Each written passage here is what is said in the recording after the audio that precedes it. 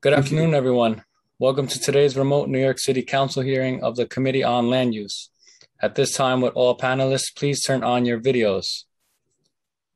To minimize disruption, please place electronic devices to vibrate or silent. If you wish to submit testimony, you may do so at land use testimony at council.nyc.gov. Again, that's land use testimony at council.nyc.gov. Thank you for your cooperation.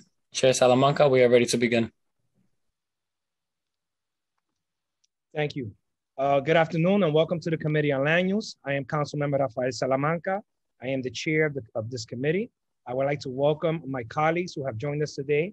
We are joined by Council Members Adams, Ayala, Borelli, Diaz Sr., Feliz, Koo, Chair Moya, Reynoso, Chair Riley, Rivera, and Council Member Brooks Powers.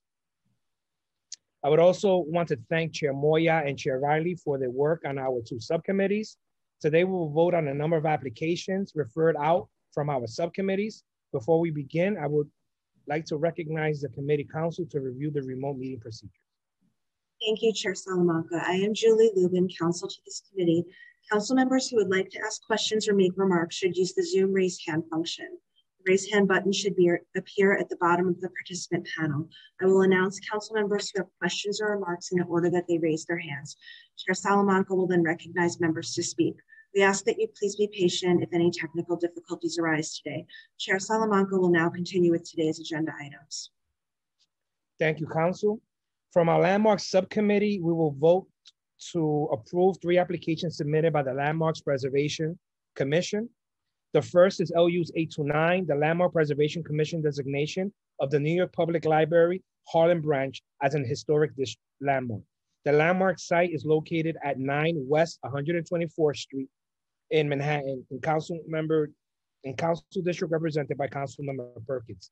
This library is one of 67 circulating libraries constructed for the city, three public library systems in the early 20th century.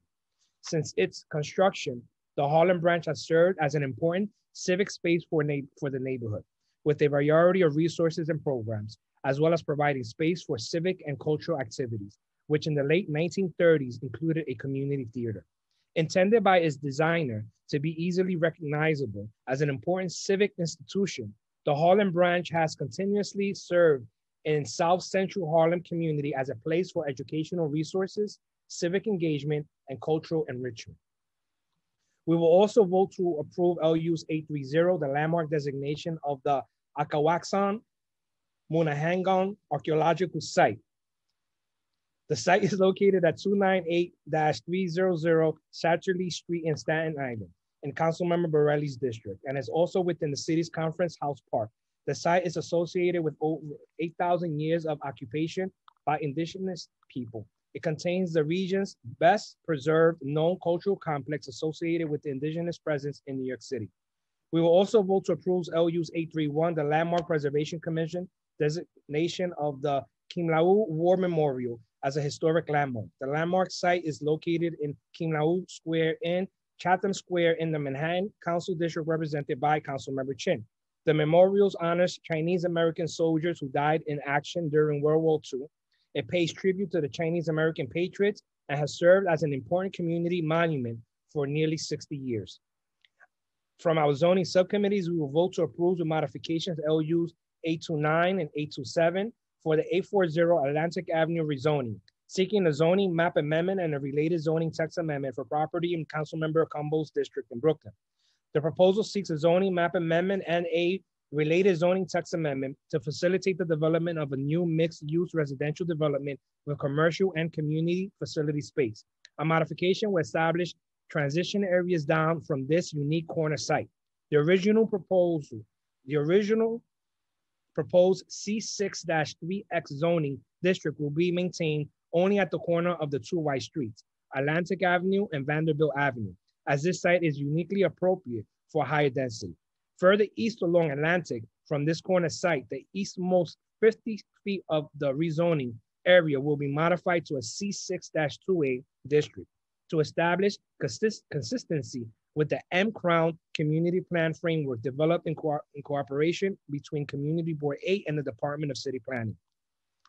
That framework calls for higher density, specifically at the corner of Vanderbilt and Atlantic Avenue, which is in close proximity to the high density Pacific Park development to the west, along with the lower, lower density going east along the Atlantic corridor to match the medium density character of Bedford Stuyvesant and Crown Heights.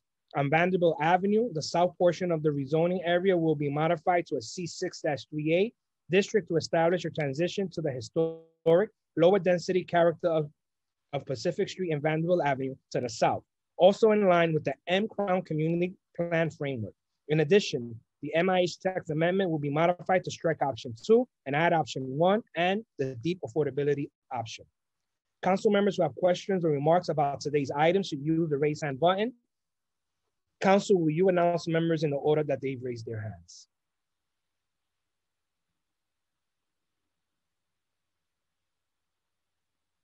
All right, seeing none.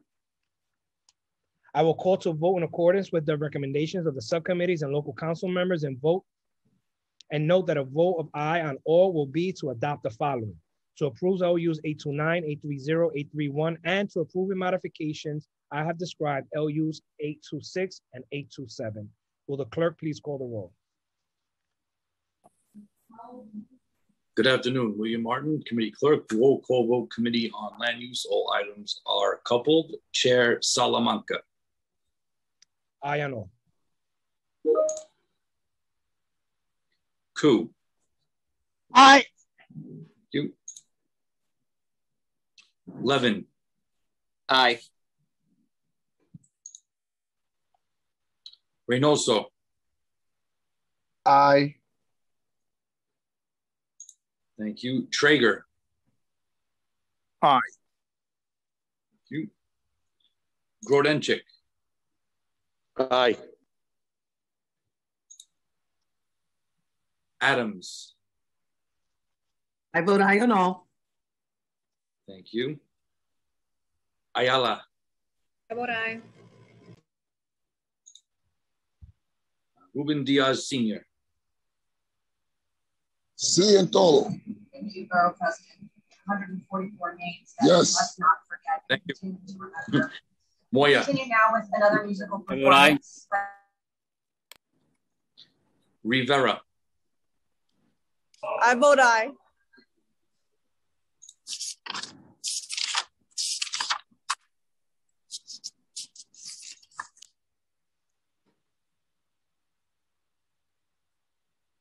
Councilmember Riley. I vote aye on all. Thank you, sir. Brooks Powers. I vote aye on all. Thank you. Feliz. Aye on all. Thank you. Borelli. I vote aye. Thank you. Barron. Uh, I vote aye on the landmarks and I vote no on the others. Thank you. Thank you. Sorry, one moment. Gibson. I vote aye. Thank you so much. Thank you, Chair. Thank you. One second, please.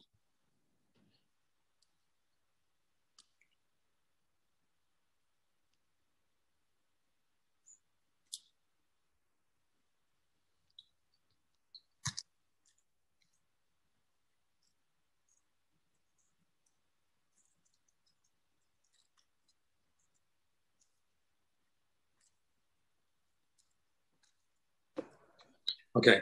All items on today's land use agenda have been adopted by a vote of 17 in the affirmative, zero in the negative, and no abstentions, with the exceptions of land use items 826 and 827, which are adopted by the committee 16 in the affirmative, one in the negative, and zero abstentions. Thank you. So clerk, uh, I would like to thank members of the public, my colleagues, council, and land use staff for attending today's hearing. This meeting is hereby adjourned.